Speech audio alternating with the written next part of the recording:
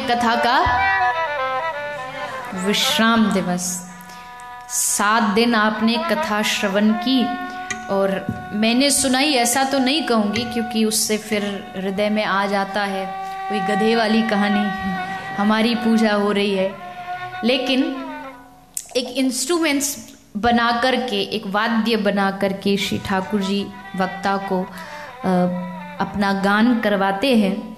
लेकिन सात दिन कोई अपना घर, परिवार सब छोड़ के आता है समय देता है आपको तीन घंटे, इतना बोलता है और विज्ञान ऐसा कहता है कि ज़्यादा बोलने से आयु कम होती है।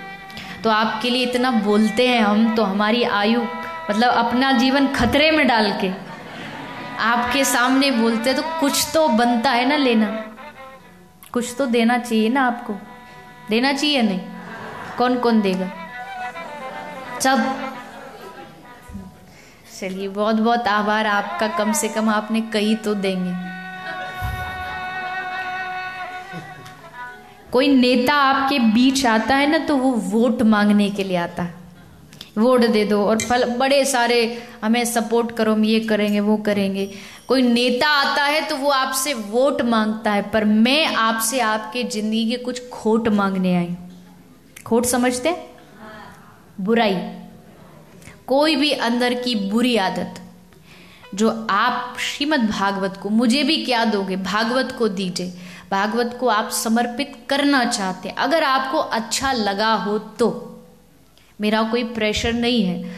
अगर आपको लगा हो कि हाँ मैंने कथा को सुना, मुझे कहीं कोई बात अच्छी लगी, जीवन में किसी भी प्रकार की कोई भी बुराई हो तो आप उसे यहाँ कथा में समर्पित करके जाइएगा।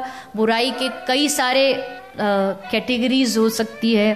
किसी के अंदर ईर्ष्या, लोभ, किसी का खान पान गलत है।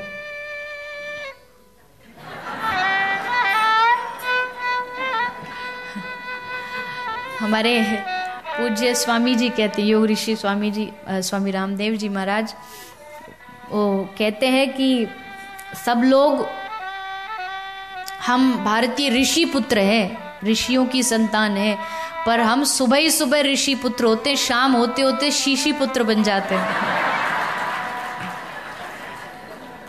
और फिर तो ऐसी ही भीतर जाती है। आदमी भी बड़ा अजीब है। सिगरेट की पैकेट पे स्पष्ट लिखा है कि ये आपको इट कॉज कैंसर। एक आया वो दुकानदार से बोला तूने मुझे नकली वाली पैकेट दे दी। बोला क्यों? बोले इस पे लिखा इसको खाने से जुकाम होता रहे मुझे तो कैंसर वाली चाहिए। मतलब पता है सब पर फिर भी उसी में पड़ना है। ये आ, कैंसर के लिए ये नहीं ये लिखना चाहिए मृत्यु के लिए लाभदायक है। खाइए जितना खाना। पर फिर भी आदमी नहीं मानता फिर भी नहीं। पर ज़िंदगी आपकी, जीवन आपका। जो करना है डू एज यू विश मेरा काम या किसी भी वक्ता का काम है, बस आपसे प्रार्थना करना। मानो न मानो, खुशी आपकी। हम तो यात्री हैं, कल अपने घर जाएँगे।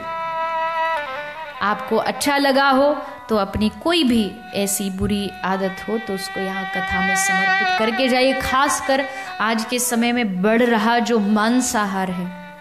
मुझे पता है आप सब कथा से जुड़े हैं तो ज़रूर बिल्कुल आपका आहार शुद्ध होगा किंतु आपके बच्चे, आपके इष्ट मित्र कोई हो, इससे बड़ा पाप दुनिया में कोई नहीं हो सकता कि आप पशु को मार करके, हिंसा करके उनको अपना आहार बनाएँ। भगवान ने खाने की बहुत सारी चीज़ बनाई है। खांडवी खाओ, ढोकला खाओ, गाठिया खाओ। और महाराज जी? जलेबी, श्रीखंड। है? रसगुल्ले। बस बस बस, महाराज जी महाराज जी। महाराज जी लिस्ट लंबी है। तो गुजरातियों में कोई कमी है खाने की? जितना खाना, उतना खाओ। इतनी अच्छी अच्छी वस्तुएँ हैं। ये पेट को शमशान बना के क्या फ़ायदा? ये पेट हृदय में पशु का आदमी जब हिंदू धर्म में कहा है, जब किसी को अग्निदान दे के आता तो आके नहाता है, स्नान करता है। तो अपने जीवन को शुद्ध करें। आहार शुद्धि, सत्व शुद्धि। आहार शुद्ध होगा, जीवन शुद्ध होगा। सब्सक्राइब करें टोटल भक्ति को।